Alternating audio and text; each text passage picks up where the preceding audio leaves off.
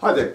I'm going to just talk about asset management when it comes to events and festivals. And I'm going to look at an annual festival and just map out how the one return on investment for the event, which is the money side of it, actually changes as the years go by. In my experience, most, most uh, council areas have a wine and food festival of some kind all around the world, actually, like just about all around the world.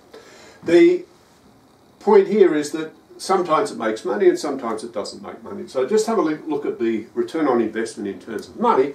We could say in the first year, as you well know, it probably lost money and that's just the nature of local festivals. And then what happens in the second year, probably lost less money. Okay, and by year number three, it's actually starting to break even.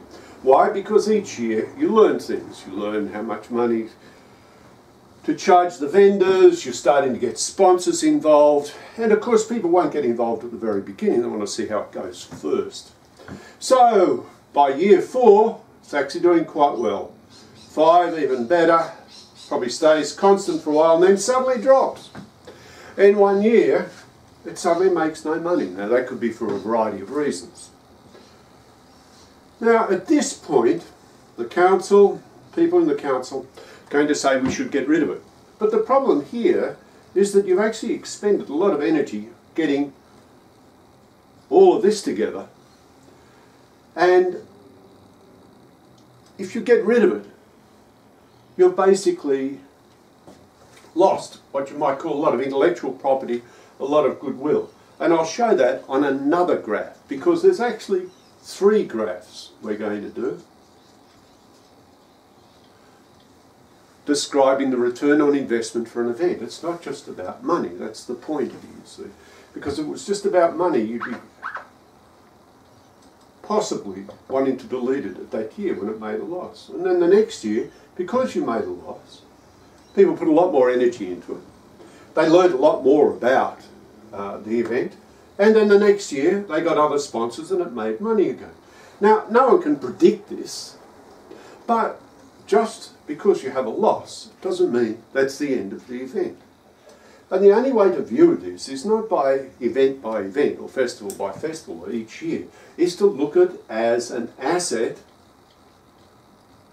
over time. And that's how asset management, that's what it's about. It's about over time. Now, that's the Wine and Food Festival. Let's have a look at another one. Let's say it's the, um, say, concert in the park. That's quite common.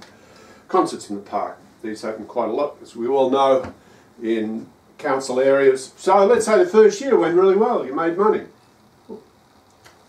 Let's say the next year went well again. A lot of people came. They loved it the first year. And it kept going, tailed off to an equal amount, and then one year it just dropped and lost money. Now this happens a lot, believe me. It's a volatile industry, it's uncertain.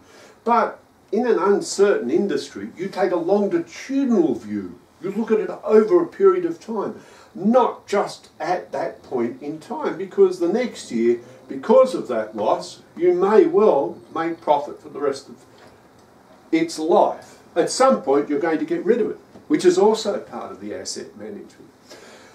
So, if you look at festivals and you map all the festivals and events to something like this over a longitudinal, over the longitudinal, over time, then you'll actually find that these things are enormously beneficial.